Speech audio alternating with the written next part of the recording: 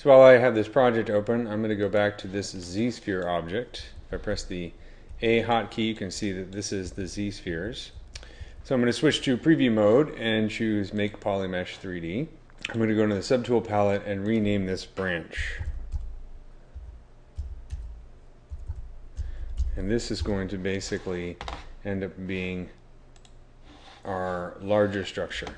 If I zoom out real quick we're essentially going to make this with all of these polyps coming off of, uh, of the sides. Divide this once actually and then delete lower levels of subdivision just to have a little bit more geometry to work with. And I'm going to go in here and just maybe fatten up the uh, bottom with the inflate brush. And I'm going to switch over to my coral brush. So press the M key, make sure I have the polyp selected and then lower my draw size.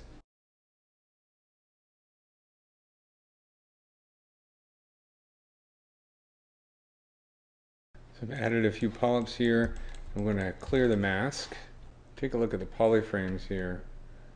So essentially we can use polygrouping to our advantage here. At the moment where we have all the polygroups that have been inherited um, from the previous versions of these models. So polygroups are indicated by these colored regions.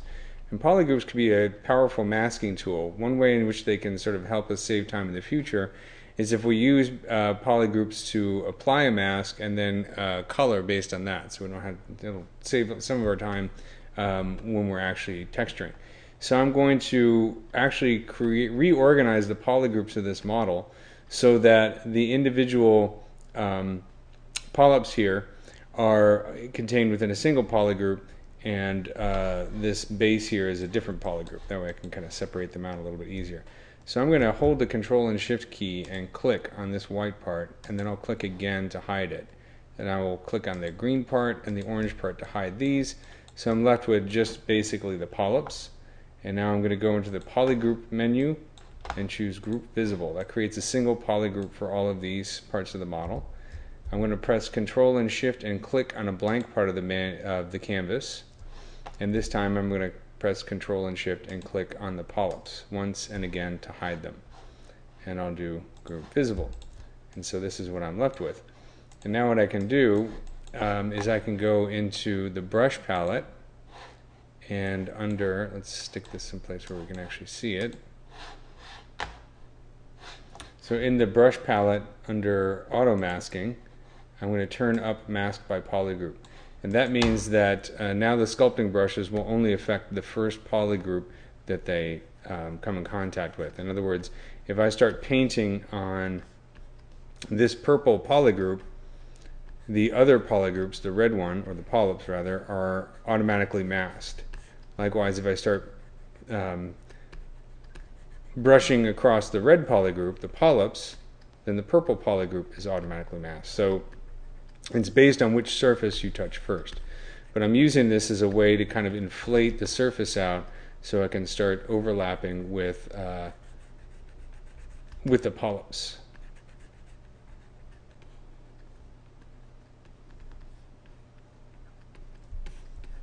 Okay, so that's what we have so far. So let's make sure we save the file.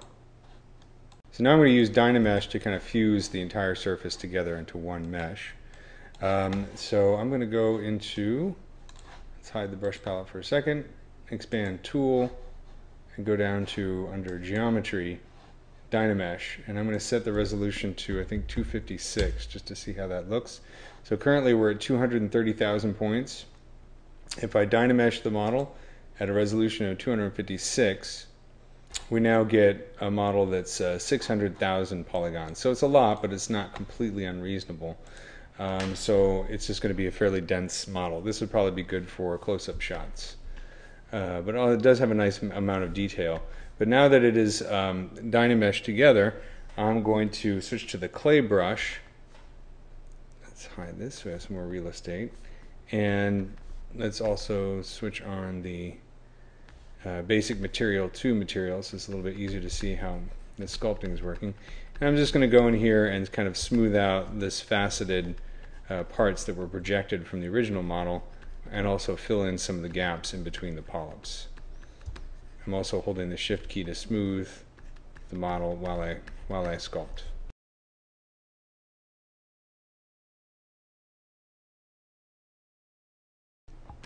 Now I've kind of smoothed it out, I'm going to re-Dynamesh again.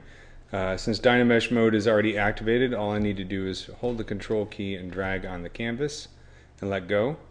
So there we go. And that just is a way to kind of smooth things out, make sure everything's blended. So I spent a few minutes adding some details, just simply using brushes such as the standard brush uh, with uh, this alpha and set to drag rect and just kind of drawing over the surface to add kind of this just sort of striation detail, um, sort of the striation kind of detail that you see right here in the surface. And once I'm satisfied with the uh, detail, I'm going to rotate the model so I'm looking at it from the top view. Make sure I have the coral brush selected and then I will choose brush, create insert mesh, and I'll choose to append it. So now um, when I hover over the brush and press the M key, you can see I have a branch. I actually have two versions of a branch. This is a version I created earlier. Uh, but I have uh, the branch as well as the polyps, the tentacles, and the other corals I made earlier. So go to the brush palette and choose Save As, and I'll save it as Coral Brush.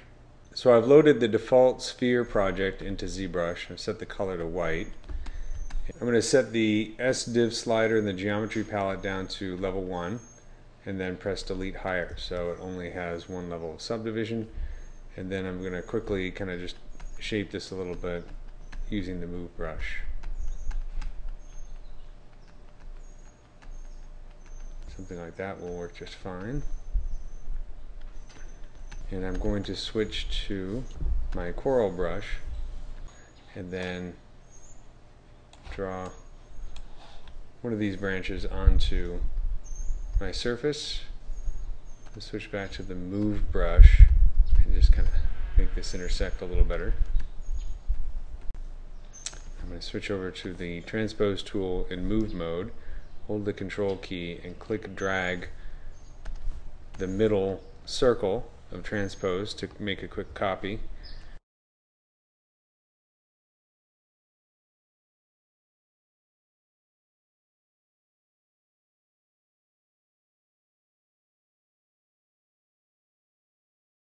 So this time lapse shows how I duplicated uh, the other uh, branches and I use the clay, the smooth, and the hard polish brush to kind of bridge the gap between the original polysphere and these uh, uh and the branches.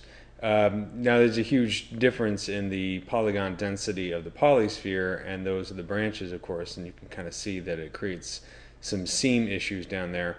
In my plan for this rendering I'm not really thinking that we're going to see the base too much, so I'm not too worried about it. So rather than make an overly dense mesh down there, I just chose to go with kind of a low polygon object and just kind of smoothing out the uh, gaps in between. So in paint